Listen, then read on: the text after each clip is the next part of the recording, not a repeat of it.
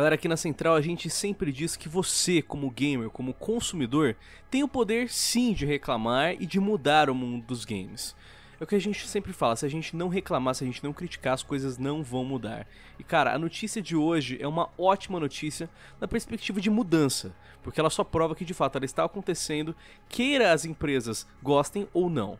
Porque, galera, quem fala com vocês é o Lion da Central. E agora eu acho que vamos passar para vocês essa notícia que, cara, as ações da Ubisoft estão despencando. E eles estão perdendo milhões e milhões de dólares. E sabe por quê? Porque você fez isso. O seu protesto, o seu boicote, as suas críticas fizeram isso e agora a Ubisoft acabou de relatar que ela vai ter que mudar e vai ter que fazer jogos melhores por causa disso. Então, pra mim, mano, isso daqui é uma vitória pra gente. Isso daqui é uma grande, uma, uma bela uma vitória para nós gamers de verdade. É, galera, a gente vai passar para vocês muitas informações hoje. Eu acho que o debate vai ser muito bom também, porque a gente vai englobar toda a indústria de games e também falar bastante dos próximos jogos da Ubisoft e as cagadas que ela fez esse ano. Exato. Então vamos explicar essa história por completo. Antes de mais nada, eu só convido você a se inscrever aqui na Central, clicar no sininho de notificações para não perder nenhum dos nossos uploads. Lembrando que a gente posta dois vídeos por dia, um ao meio-dia e outro às sete da noite. Então clica no sininho de notificações para não perder nada, beleza? Galera, vocês podem se lembrar que algumas semanas atrás a gente teve o lançamento de Tom Clancy's Ghost Recon Breakpoint. Cara, esse jogo foi muito debatido. Porque é o seguinte, ele era uma sequel do Ghost Recon Wildlands, que era um jogo até que muito bom, né? Um dos meus jogos prediletos da Ubisoft ever. E, cara, quando eles anunciaram e mostraram as gameplays de Breakpoint, o jogo já tinha uma sensação meio estranha. Você já sentia que ele tava meio esquisito, meio diferente, não tava tão bom assim. A gente, eu, eu tava muito hypado. Mas conforme a gente ia, ia vendo a gameplay, a gente tinha um sentimento meio weird. E aí, cara, quando o jogo de fato lançou, a gente entendeu por que, que o jogo tinha esse sentimento. Acabou que Breakpoint foi lançado e, cara, foi um lançamento totalmente quebrado. A gente tá falando de desconexões, problemas em relação ao jogo rodar bem, o jogo rodava super mal em todos os tipos de PCs e consoles também. E, cara, eles adicionaram um sistema que é basicamente do The Division. Eles meteram no Ghost Recon um sistema de loot, de é, armas com níveis. Agora uhum. você não podia simplesmente colocar o seu equipamento e jogar com seus amigos. Não. Agora você tinha que grindar e ficar jogando horas e horas e horas para pegar coisas e equipamentos melhores, como se fosse um looter shooter do The Division.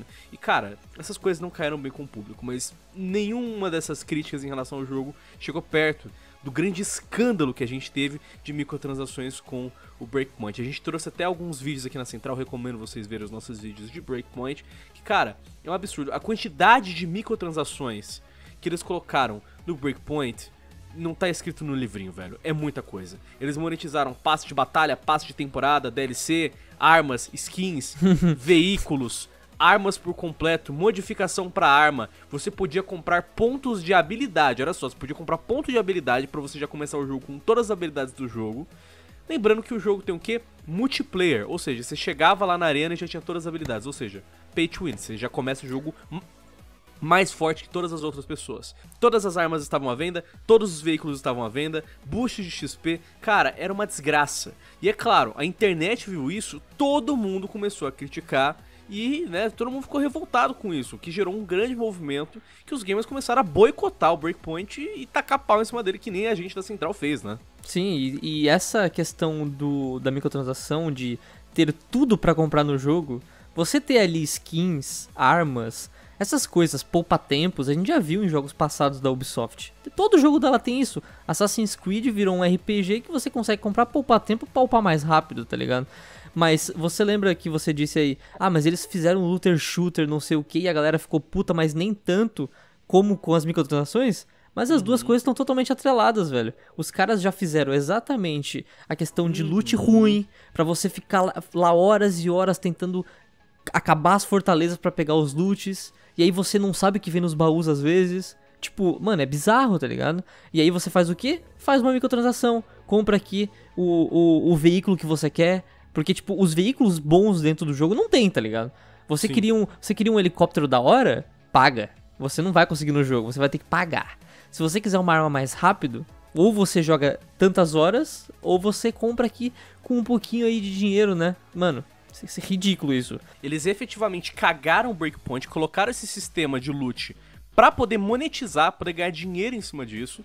E o resultado foi isso, galera. Vocês reclamaram, vocês boicotaram, a internet inteira tacou o pau em cima do jogo. E agora, galera, é oficial. Eles acabaram de reportar perdas absurdas. A gente tá falando de milhões e milhões e milhões de dólares. E as ações deles caíram como se não houvesse amanhã, velho. Cara, depois dessa situação toda, a gente vai mostrar pra vocês os dados. Mas, cara, o que aconteceu foi que pelo, pelas informações que a própria Ubisoft divulgou, a gente tá falando de uma perda de 20% das ações deles. 20%. Caraca. A gente tá falando de milhões e milhões de dólares e euros que foram perdidos só por causa dessa situação. Então é pra vocês verem como nós, vindo aqui reclamando, debatendo e compartilhando essas notícias com vocês e vocês fazendo as suas partes, vocês conseguem fazer muitas coisas, galera. Porque o que, que aconteceu depois dessa situação toda, White? eles ah, foram lá e adiaram que, jogos. Né? Exato. Hum? Adiaram Watch Dogs, adiaram Gods and Monsters, eles adiaram Rainbow Six. o Rainbow Six. Tudo para quê? Pra trabalhar mais no jogo e garantir que o jogo não vai lançar cagado. Vocês estão vendo como os nossos boicotes, as nossas críticas estão melhorando o mundo dos jogos? Porque agora, esses próximos jogos que vão sair vão ter a oportunidade de não serem cagados, velho. Sim. Só que pegou no bolso deles. Acho que esse foi o X da questão. A gente aqui, às vezes, recebe o jogo, mas às vezes a gente compra. Por quê? Porque a gente tem que jogar o game para ter propriedade para falar sobre ele. A gente não pode simplesmente falar que um jogo é ruim se a gente não jogar, certo? A galera Sim. do Anthem até hoje, né? Os fanboys falam, ah, Central não jogou Anthem, sendo que a gente jogou o game antes do lançamento ainda, né? Então, né? assim, é, é, é, é ridículo isso. Então a gente joga os games, apesar de serem ruins, a galera acha que, não, vocês trabalham com videogame, deve ser mó bom jogar um jogo. Você tem que ver o perrengue que é jogar jogo que a gente não gosta, velho. Às vezes a gente tá jogando um jogo ruim, quebrado aqui, porque tem que fazer análise para vocês e passar tudo direitinho, tá ligado? E aí, mano, se a galera não comprar, o que acontece? Eles perdem dinheiro. Se eles perdem dinheiro, o que, que acontece, Lion? Eles se tocam que eles têm que fazer o quê? Um produto bom. Olha só que incrível. Será que eles não tinham a ideia antes de que para vender você tem que ter um produto decente? Por quê, né? Porque a indústria virou isso. Eles lançam qualquer coisa e a gente aceita. Ou aceitava, né? Porque hoje em dia a gente não aceita mais. E eu fico muito feliz que a galera tá abrindo o olho e que as notícias estão se espalhando. Quando tinha coisas ruins, a galera falava: "Ai, vamos esperar mais um pouquinho, eles vão arrumar", tá ligado? Acabou essa confiança, velho. Não tem mais isso, não uhum. tem mais uhum. tolerância. Tá ruim, tá ruim, não compra, velho. Pré-venda jamais, velho. Acabou. E aí você vê isso em como a maneira tá sendo é, a maneira como a empresa está sendo administrada. O que acontece? Eles acabaram de lançar um relatório fiscal para os seus investidores e cara, eles anunciaram que eles revisaram a situação financeira da empresa e agora eles estão esperando que o alvo pro ano fiscal de 2019 e 2020 vai ser menos dinheiro. Eles estão percebendo que tá doendo no bolso deles. Vocês estão fazendo doendo no bolso deles. Isso é incrível. A projeção é de menos 32%. Mano, eles estão projetando é 1,450 é, bilhão de euros. Ou seja, é, é, bastante grana. Só que você compara com o ano passado. Ano passado eles estavam projetando 2 bilhões e 200. Ou seja, a gente teve uma queda significativa de quanto eles esperam movimentar. E aí o que acontece? Toda essa situação com esses jogos, a questão de, de da maneira que eles foram recebidos, fez com que eles adiassem os seus jogos, entendeu? E aí o que acontece? É engraçado que agora eles decidiram adiar os jogos para ter uma, um lançamento melhor, com mais qualidade. E eles sempre deixam claro que eles estão ouvindo os fãs, estão ouvindo a comunidade. Uhum. Mano, não teria sido mais fácil ouvir a gente desde o começo, quando a gente fica reclamando de um jogo cagado, e vocês aprenderem com o seu passado? Porra, mano, lembra do lançamento do Rainbow Six? Era uma desgraça, um jogo cagado, quebrado. Eles foram lá, consertaram hoje o jogo, é incrível. Mano, lembra do lançamento do The Division? Também totalmente cagado, uma desgraça. Hoje tá aí funcional. Por que, que os caras não aprendem, velho? Na boa, eles poderiam ter evitado tudo que tá acontecendo aqui. Por que, que os caras não aprendem, velho? Eu fico impressionado como eles esperam a cagada acontecer para depois tentar consertar em vez ah, de é... já não lançar cagado, pô. É pressão, cara, pressão de investidor. Você vê que quando eles adiaram, quando eles anunciaram que iam adiar todos os jogos, o que aconteceu, lá? As ações caíram. Os investidores pularam fora. Por quê? Porque não confio na empresa. Não, não foi uma informação boa para eles. Entendeu? Porque uhum. para eles, eles querem jogo no mercado, não importa como. E aí a Ubisoft tem que decidir. E aí, a gente vai ceder aos interesses comerciais ou a gente vai ceder ao público que merece um jogo decente? E aí eu te pergunto, vamos pegar o exemplo da CD? A CD se importa com o investidor? Eu acredito Não. que não.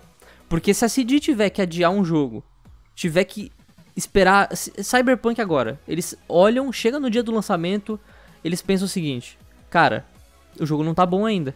O que a gente vai fazer? Vai lançar isso aqui assim e receber crítica? Ou vamos segurar mais um, dois anos aqui? Eles seguram, cara.